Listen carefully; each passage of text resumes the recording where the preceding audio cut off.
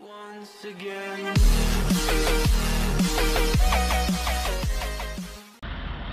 Hello, it's Jimmy here at O'Riley's. Got here Land Rover Discovery 4. Uh, it's got restricted performance issue. Okay, inside the vehicle you can see there it's got a restricted performance. And again, it's got another little, little bit of a story to it. It's uh, had several different trips to Land Rover dealership, and he said they've changed the. It doesn't make sense to me, but they've changed the, the manifold pressure sensor, the the mass airflow sensor, and various other bits and pieces. And he said uh, it spent on one of the occasions it spent over eight weeks at the Land Rover dealership. Now, and obviously, I don't want to mention what Land Rover dealership it was, but uh, anyway, it was nice of them to say, you know, the guy from the Land Rover dealership gave him my number and said, look, go and see this guy and see what he can do for you. Um, because the next time they're going to be able to see it again would be probably another eight weeks. It's going to need to spend in the garage. So the guys drove it down to me from North London, I think, and we'll uh, go through and see what's wrong with it. Okay, I've got the diagnostic machine here set up. This is the launch Eurotab 3.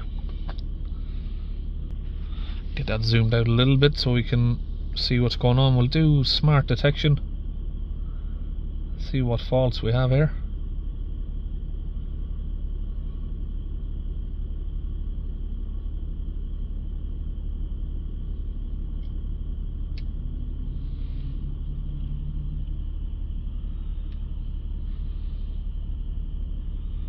So it's probably just going to be the ones in the ECM that we're uh, going to be concentrating on.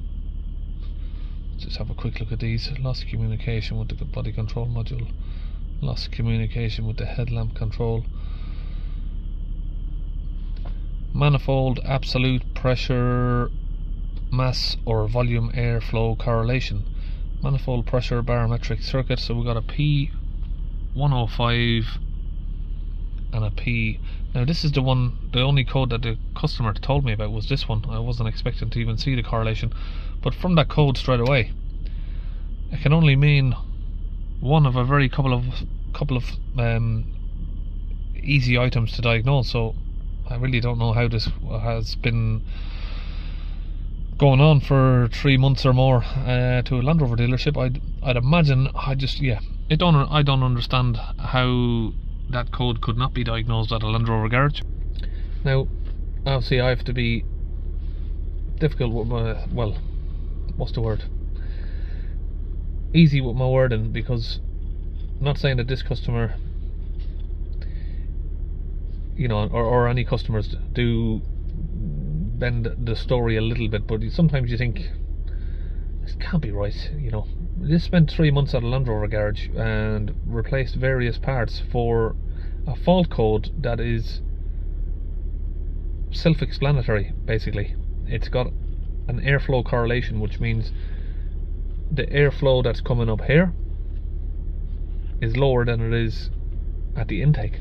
So the air that's coming in is high and then once it gets down to the manifold of the engine it's then all of a sudden not the same it's a lower air pressure so that can only mean between those two areas there's a leak. So we'll go in and have a look maybe with a smoke test.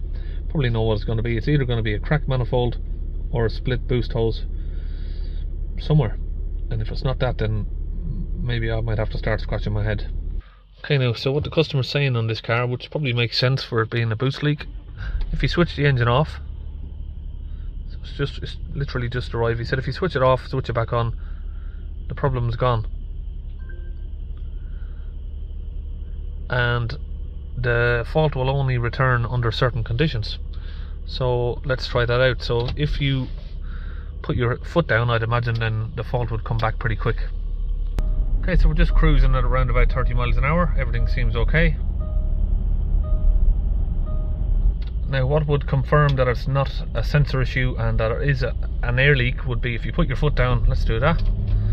Put our foot down. Once you get good acceleration, we should get the restricted performance come back up. There we go. Now we've also got the engine management light on there. Okay, so I'm gonna go back, re-scan it for codes again. Okay, so we've still got the same two codes. Okay, so Land Rover have changed this, this, and we need to get off the uh, engine cover.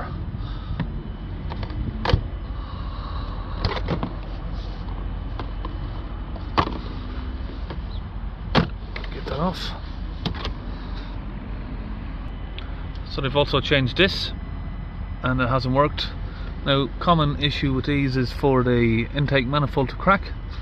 Can crack in around here between the between the injectors. So just having a look with a torch, it looks pretty dry, but you never know. There could be a small leak there. It's usually that side if they do fail. We'll check to check both sides here as well. It looks pretty dry on both sides.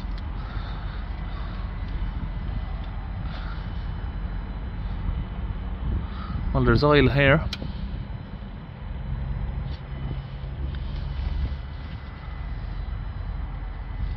This isn't fitted properly. This is not fitted properly, it's not sitting level. It's definitely not attached properly, I don't think. Uh, what's going on here? Cable tie? Right, we're going to open this and put a smoke test on, but it looks like we're going to be having a leak from this area here. So I'm going to open the inlet, pull that off. I've got a smoke machine here from Launch UK. We're going to get this connected into the inlet like this, and then we can pump up the bag so it seals. Get this switched on. Now we've got smoke coming from here, so we'll get it attached into the bag that goes to the air inlet there. Like I said, don't really need a smoke test. If you've got your eyes, you can see that it's leaking from around here. But we'll just confirm it anyway. Maybe that could have been leaking at a, another time, but to me, that doesn't look like it's been seated properly. Okay, because these have got um, twin intakes, obviously when you put it through here, it's just coming back out through the air filter. We're going to go directly straight in, in through the intake here. This, these are usually the main areas, but of course you could you could have a leak from the from the intercooler. It does happen. Give that a couple of minutes now to work the smoke through. Okay, we've got smoke coming from the EGR valve there. Just coming from where the actuator rod sits in.